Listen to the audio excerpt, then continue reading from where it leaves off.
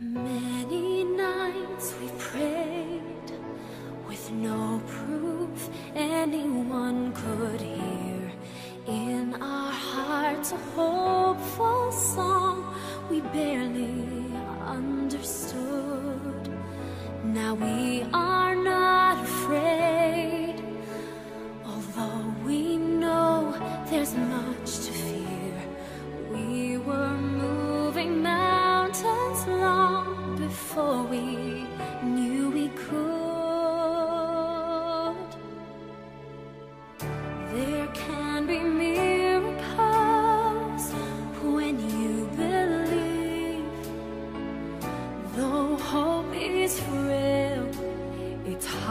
to kill.